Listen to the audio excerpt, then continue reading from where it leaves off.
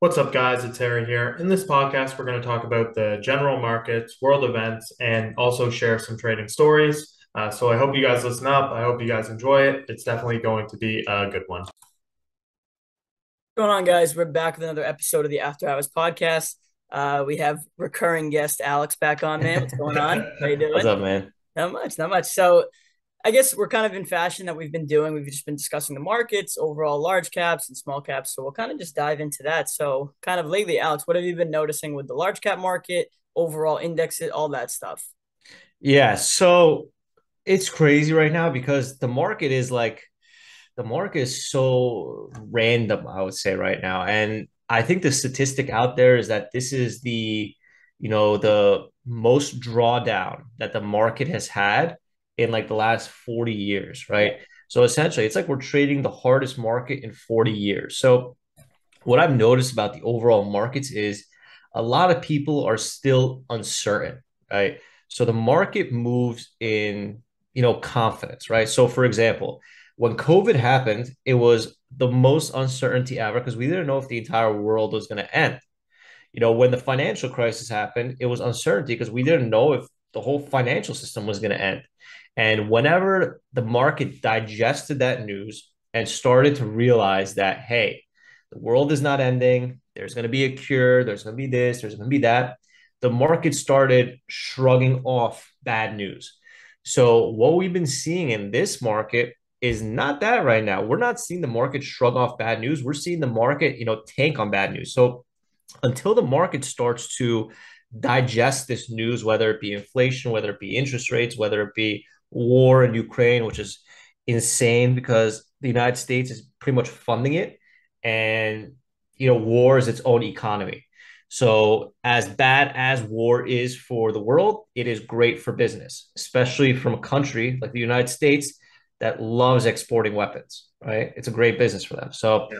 it's kind of a crazy place right now. A lot of stocks are still getting destroyed, a lot of stocks are still getting clobbered. You know, just recently we had the Bed Bath and Beyond move that went from five to 30 and then back down to eight. The CFO killed himself. Like it's crazy right now, bro. So the market is, even though we're in a bear market, even though it's the hardest market, there's still opportunities to be making money. It's just not easy. Yeah, I feel yeah. like the, the, consensus right now is that a lot of there are some major names that have bottomed, um, and like but it's weird because I think a lot of people feel those names have bottomed, but also like the index and like all that stuff like has not yet or whatever. And so it's a lot of like it's kind of a lot of guessing right now. And it's we're like, in the middle of the range. So yeah. we had the all-time lows or the short-term lows that happened. We had a major, major bounce. I think it was like 10 or 20% in like three weeks. And now we're back in the middle. So based on where we're at in the middle, it's going to take a catalyst to move it up or down. And that catalyst is probably going to be the upcoming inflation number, which I think it might be this week or it might be next week. But there's an upcoming inflation number coming out. And depending on that data of what's going to happen, that is going to dictate which side of the range we're going to go on the top or the bottom. But the reality is, guys, like if you're staying alive in this market, yeah. you're probably doing pretty good. If you're making money in this market, you're doing really good. And if you're making a lot of money, then there's really nothing to worry about because if you could survive the hardest market in 40 years, you'll be able to survive the next 40 years trading, you know? Yeah. That's what I remind myself. I yeah. agree. I think a lot of people right now, like I get a lot of questions from like kids I went to like high school with or just grew up with, and people asking a lot about like portfolio management and like how to build a portfolio because I feel like for the last couple years, a lot of people were almost afraid of the market because prices were high. I know that sounds yeah. crazy, but like when you looked at Amazon trading at like $2,000 a share or Apple at a couple hundred, 400 bucks, whatever, I think it's scary because most people don't make enough money. They're like, oh, I'm not going to buy one share of Apple, one share of Amazon. But now that, sure. you know, they've done reverse splits, the market has come way down. I think there's a lot of opportunity. And, you know, for you guys, like, do you find yourself antsy to kind of get in now or more so like get ready to get involved or is it hard for you to kind of look at that now while things are so uncertain you know? so i have a funny story i'm gonna i'm gonna explain two things real quick so number one is i want to what i learned very early on is a two ways to make money in america i don't know if it's the same in canada Same in Canada, to, but with America. Two, two ways to make the most amount of money in America is real estate and the stock market. That's all I learned. It's very simple. Real estate and the stock market. Okay. So stocks are going down right now. Valuations are at like historic lows. So I've been dipping my toes in long-term, you know, equities. And, you know, I'm not buying anything like Zoom or Moderna or shit that like made a parabolic move and came back down. I want to buy the biggest companies in the world, the companies that I use every day, like Apple, like Amazon, and like, you know, uh, Google, stuff like that. So I want to put my money there. It may not grow at 80% a year, you know, 5 10% a year. Okay, no problem. Now, what I'm doing now is the interest rates are up, real estate is starting to come down. It's starting to be a buyer's market instead of a seller's market. So I'm trying to stockpile as much cash as I can to be able to capitalize on the opportunities coming into real estate in the next, you know, three to six months. Additionally, what I did is this is where the funny story is. Additionally, I put like some money aside in like a uh, venture capital fund. So like it's pretty much like the Shark Tank stuff. So you set, let's say, 100k aside and they'll put, you know, 10K or 5K into 10 or 20 different businesses. 99% of them are going to fail. And the one that doesn't fail and IPOs and whatever, you get to make all your money back plus more.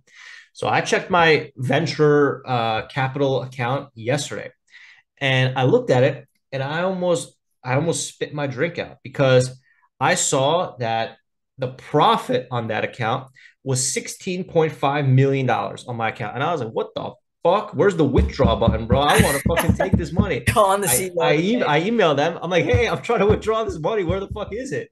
And they're like, "Oh, sorry, this is an error. No. Like, that's oh, a big oh mistake." This, you just invested in the next. I was like, "Bro, I'm fucking retired, dude." So like, in reality, it's nowhere near that. It's probably nothing near that. But when I saw it, I was like, "Oh shit, bro, this venture shit is the real deal." So I was freaking out yesterday because I was like, "God damn, like that's it, bro. i will see you guys on an island." You yeah. know? Yeah, it's like Mr. Temiz. You actually invested in the Ring doorbell. I'm trying. I'm trying to hit that withdraw button, bro. It would not let me withdraw. Bro, I would have had a heart attack. I'm the idiot, bro. Emailing them like, "Where the fuck is my money?" In reality, they're like, "Nah, sorry, that was like a." It was like a two second glitch where like uh they added like an extra couple zeros in there, you know. That's yeah. two. yeah, you're actually at 160,000. Yeah, they're like you made 150 times your money in six months. yeah. So I was like, fuck, this is so better than meme stock. do, do you have any advice for people? Um, so I had a, I actually had a, a client yesterday. He came in, he's a younger kid, he's like in his 20s, and he said that he got a little bit of an inheritance or something like that, and he got gifted 70 grand, right? And and he asked me kind of what what he his uh, what my opinion on it was, what to do with that money was, you know. But he was very focused on the idea that he's gonna find the next fucking Amazon. He's ex- he's so focused that he's gonna mm. find that crazy the Moderna growth, you know, some the Zoom growth, everything that went crazy during the pandemic. Yeah. Do you how realistic do you even think that is nowadays for someone to like? Do you think that gamble is so hard to find that stock in times like this, especially? I think it does. Not. I'm saying zero percent, zero percent chance. Yeah, I don't think it exists, bro. Like, dude, the smartest people in the world, right? I'm talking about the hedge funds, billionaires, probably trillionaires, the Saudi prince of fucking Morocco or whatever the hell it is. Like these guys, they hire literally the smartest people in the world to do that job, and the smartest people in the world can't figure it out. So no regular dude is going to be able to figure it out. And if he does, it's probably going to be a lucky trade. It's probably going to be a lucky stock. And the next one that he tries to do is where he's going to lose all his money. Yeah. I mean, the problem is that we became so used to seeing moves like with cryptocurrency, for example, like seeing Bitcoin go from like 2K to 70K and just thinking that that's realistic. And you see how many millionaires or even, I don't, maybe a few billionaires have been made in the last couple years just by crazy speculative stocks or crypto. Yeah, yeah. the problem is if you don't sell, bro, you can't lock it in. That's the problem. So That's a lot of these guys they didn't sell, they're up. I don't know from they made you know a hundred thousand dollar investment is now eight million dollars, and now that eight million is now you know eight hundred thousand.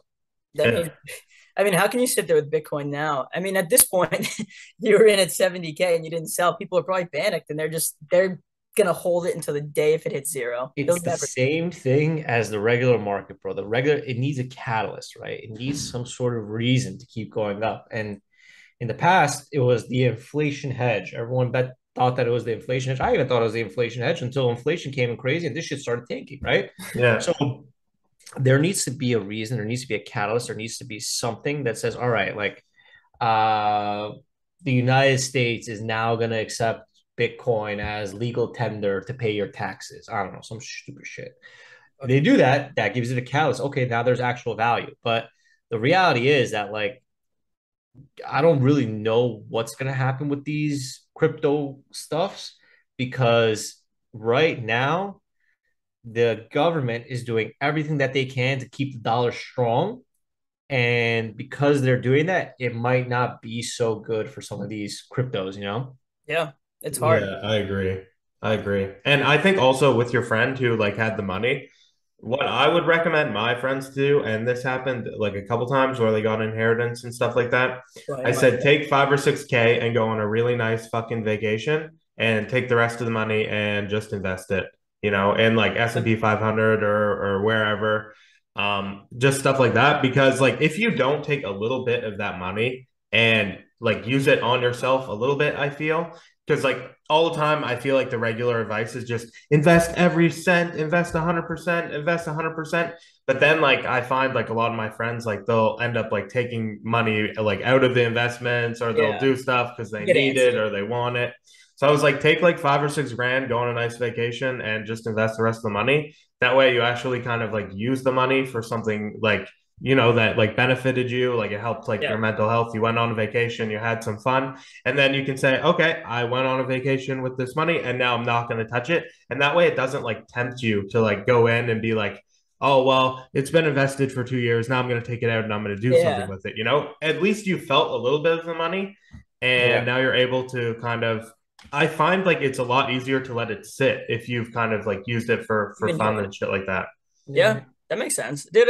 Whenever whenever people ask me a question like that, to be honest, I always send them that. Um, there's like an article about. Remember the whole Warren Buffett bet with hedge funds, where he was like, you know, the S and P index will make more money long term than you guys individual stock picking. Yeah, I always send people that shit because I'm like, the reality is 99 percent of people, it's all guessing. You know, a lot yeah. of people are seeing stuff like this, and it's you know, if you can get involved in the, I mean, Alex had told me a story a long time ago. There was a trader he knew invested a lot of money just in the indexes.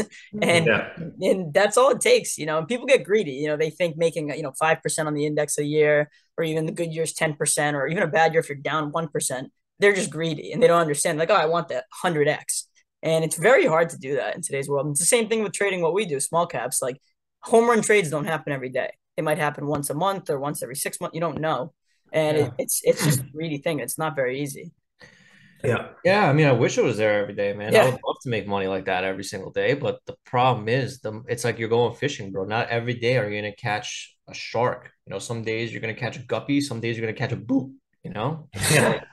Fucking boot. Some days you're getting seaweed. Some days the shark is gonna pull you into the water and chop off your arm, bro.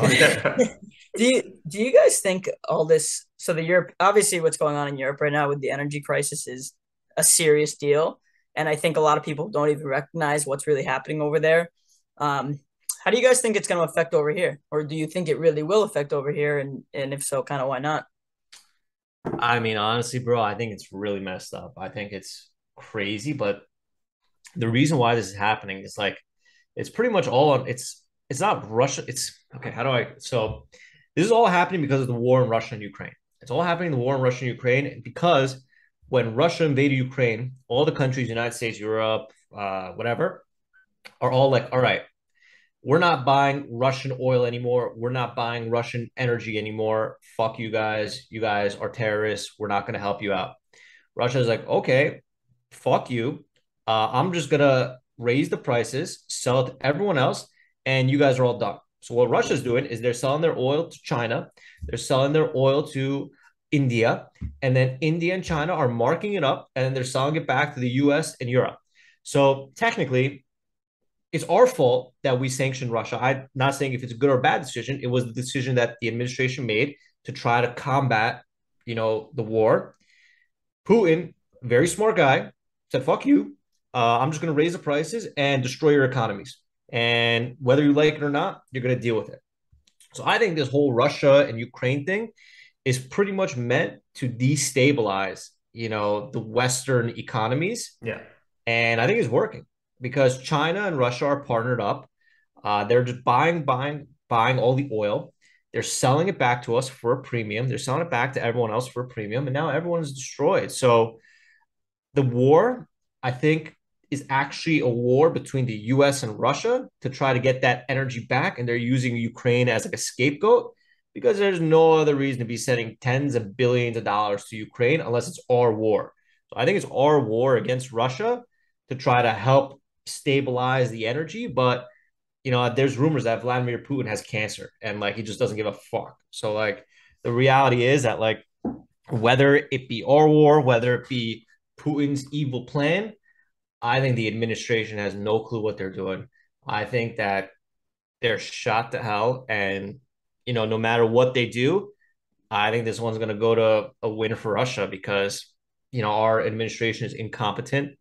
They would rather raise taxes and send that money to Ukraine and help cover student debt than fix a lot of the problems that are happening with the supply chains. And, you know, don't get me wrong, fixing student debt is fine, but not if you're going to have to print money to cause more inflation to do it. Yeah. Not if you're going to have to take the money out of the people that worked hard, that actually paid back their debts to pay for other people's debts. It's just, I don't know. I think this administration is so out of touch with reality. And to be honest, bro, whether you're left, right, up, down, this guy is not fit to run to be president. And, you know, we're seeing it happen in just two years of how much this country has been destroyed. And the worst part is we still got another two years, bro. Yeah. Yeah. I I always recommend people do like a lot of like I don't want to say their own research, but kind of. I mean, like really look into some of this stuff because especially with like the student loan forgiveness, it was like I had a lot of friends telling me like, "Oh, I'm going to get this money," and I'm like, "You do know like some not all some states are taxed on it. Like that is income to you. You know, they're gonna that is income tax and all that." And, and I feel like people in nowadays they really look in the short term and they don't look at like the long term effects. Like everyone loves free money, dude. Fuck, if someone wants to send me a check, a stimulus check for like ten grand, I'll take it. But, yeah, bro. My stimulus check was lost in the mail when yeah. they sent it. Bro. I never got that shit. exactly, right? But you know, if someone if I get it, cool. If I had it, sweet. But at the end of the day, I know long term, it's just gonna affect us like down the road. And I think people kind of forget like debt matters. Like the the debt of our country matters. And it's really hard for us to like continue to do all this stuff for people while printing money and without actually putting like actual like things in place to help us going forward. And yeah, the problem it's it's just a whole big problem, bro. Because like the reality is that like two more years of a bad administration is really really bad because you don't know when the bleeding is going to end, right? Everyone is dealing with higher gas prices. Everyone is dealing with higher grocery prices. Everyone is dealing with supply chain issues. Everyone is dealing with all these same common problems and instead of trying to fix these problems, the administration is focused on the wrong things. They're trying to buy votes through, you know, the student loan forgiveness. They're trying to buy votes by being the heroes of the world, by you know fighting the war in Ukraine. Well, we got our own war here in America, bro. It's the war of poverty, and they should be fighting that and printing money for that instead of printing money to send missiles to Ukraine. And that's just my opinion. Maybe uh, people have other opinions. I think what what's happening in Ukraine is horrible. I think it's terrible, but we're doing pretty horrible and pretty bad here too, man. So I think we need help as well. Yeah. No, I agree with that. I remember my stimulus check. It's just when you said that it was when it got lost in the mail because uh they never sent that shit to me. I never I never fucking got anything yeah. from Canada at least. I, I didn't apply for it anyway because like everyone I know now is having to pay it back. So all my friends, like on their taxes, had to pay it back. So I was just like, you know what, fuck that. I knew that's that's what they were gonna do. So I was like, do I want to take a loan out for like twenty five hundred dollars from the government? Not really. So I never fucking did it. Now I remember I uh I went for a walk. Like it was just like with my mom during COVID. Like we just wanted to kind of get out of the house because like everything was fucking closed in Canada. Yeah. Like everything was closed. So I was like, you know what? Let's go for a walk. Like trading day was done. And we go for a walk, and everyone on my street that's my age, I'm not even fucking kidding, is at the mailbox. And I was like, yo, well, like, why is everyone at the mailbox? Like, what the fuck's like? I've never seen you guys ever check the mail in my fucking life. And the mailbox is like two doors up. Like, I would fucking yeah. like see them checking the mail. And they're like, our stimulus checks are coming in. And I was like, what the fuck? Pretty Like.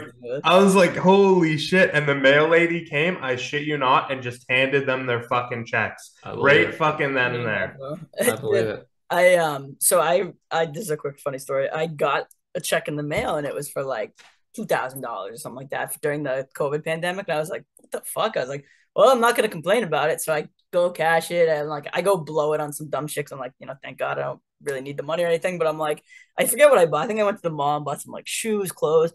And then like Down payment for his i8. yeah, and then three weeks later, I got a notice in the mail, and it was a, just an accident. It wasn't supposed to come to me, and they basically were like, "It on your tax return." It just came off my tax, and I had to pay it back. And I was like, "Man, I thought I got like a quick little break there. I was so excited." Yeah, that's where that Opus One came from. I was pissed. I was like, "Oh, it's great," but no, I mean, you know, thank God. I I do encourage people to really like educate themselves on the stock market and like that's why I love like my investing club in general because we we're lucky I'm gonna knock on wood here and thank God everything like we are able to it's basically like an ATM machine to make our own paycheck while there are people out there who are struggling to figure out how they're going to afford their houses cars everything like we are able to come to the market and make Like, think about someone like Steven, our travel mob, bro. He's been killing it, dude. yeah dude He's Yeah. been killing it. he really He's is. just fucking floating around. Like Bro, he, this he's everywhere. this dude travels all over the world and he just bangs out trades during the day and his trades are so clean and his risk management is really really good. And it's like dude this guy's just like floating around life like loving it you know? And it's Yeah.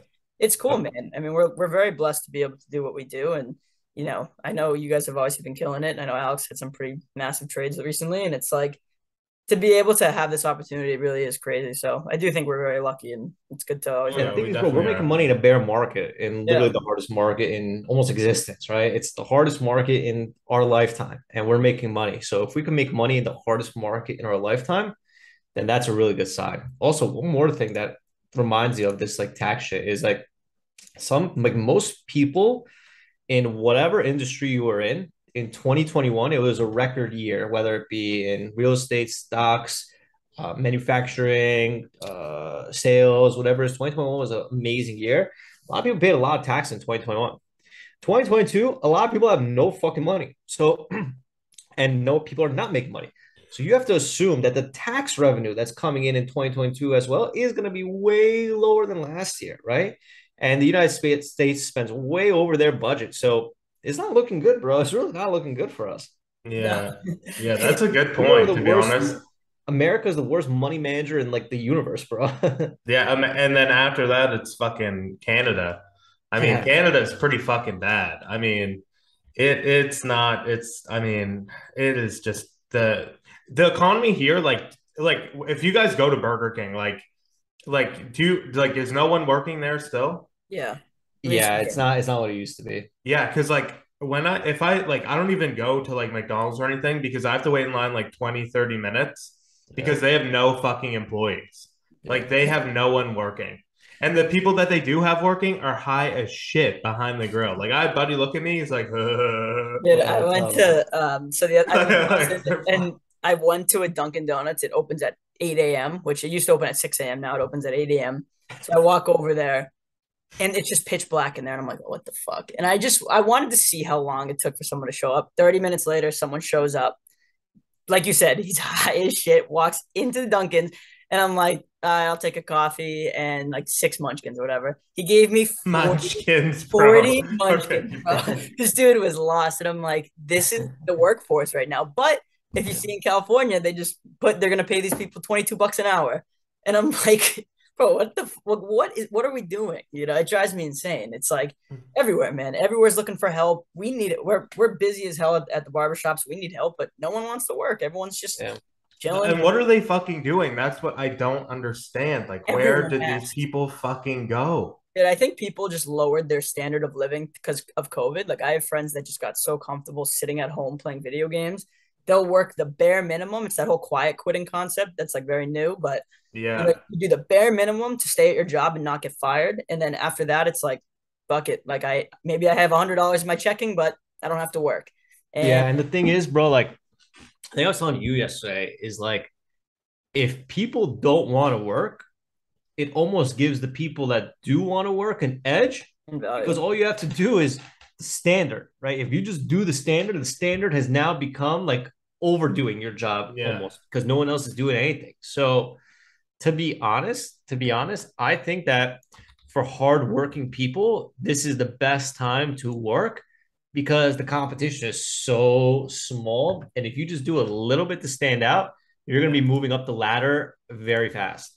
Yeah, agreed. I think so too. And I think that I think through this, at the end of the day, like as crappy as it is right now, through this, the economy will eventually rebound, and all those lazy people will kind of be left in the dust. And they'll, they, you know, it's it's like you know, in 2008, there was opportunity everywhere to get real estate, stocks, everything. The people that were lazy, they didn't get involved, and they're probably still in the same position they were back then. So, yeah, this is your chance. But yeah, I mean, stockpile cash, bro. That's what I've been telling everyone: is stockpile cash, get some money ready. You don't know what the hell is going to happen Maybe we're gonna go into a world war. Who knows what's gonna happen? But yeah, all you, I know see, is that. Uh, I didn't mean to cut you off. Um, did you see what Elon Musk said about Twitter? Like, I don't want to be buying Twitter into a world war. That's some crazy shit, bro. I I think Musk is gonna be on the hook for this shit. To be honest with you, I really. No, I think it's gonna happen, bro. I think what's gonna happen is they're gonna go to court. They're going to reveal that the bots are not 5%. It's probably like fucking 45%. Might be higher. And to make sure that Twitter doesn't get fined up the ass from irregular or improper SEC fines, he's probably instead of paying 40 billion, he's probably going to pay like 28 billion and get the deal at a cheaper price. Because if Twitter is caught with their pants down, that their bot number is not actually 5%, uh, then they're fucked they're yeah. fucked and the stock is going to zero. So they'll either take that money or the stock is going to zero. That's brutal. I can't wait. I can't wait for the day Twitter uh, Elon buys Twitter. I think Elon's not dumb, bro. The guy's no, the richest man, the smartest man in the world for a reason. And I think that going to court is the only way that Twitter will legally show how many bots are actually there. Because, dude, to be honest, I use Twitter. I've been using Twitter for years, and there's bots everywhere, dude. Yeah, everywhere. Oh, yeah. bots everywhere. Bro, Twitter. Oh, Twitter's brutal, dude. I have like six thousand followers or something, right? And I remember one time I made a, a post about masks or something like that. I had like nine hundred comments flooded into my thing, and I'm like, yeah. they're all like liberal, liberal, like yelling at me or something like. That. I'm like, yeah, and most of these accounts, bro, are not real people. They're just no. robots. So all these made like, yesterday.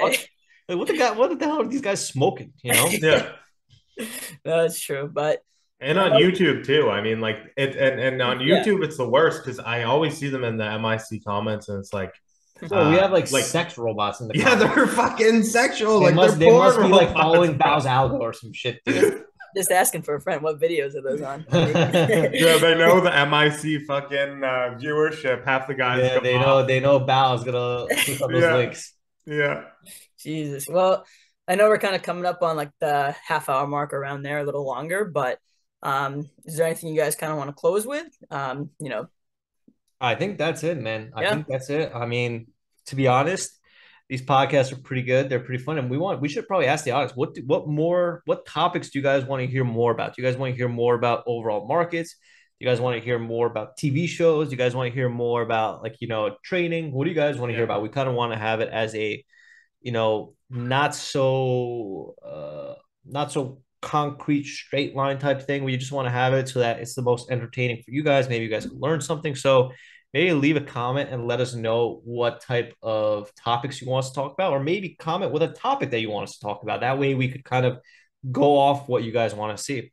Perfect. Yeah. yeah I agree, man. Yeah. All right. Well, That's awesome. Well, thanks everyone yeah. for watching, and we'll see you for the next one. Cool. Perfect.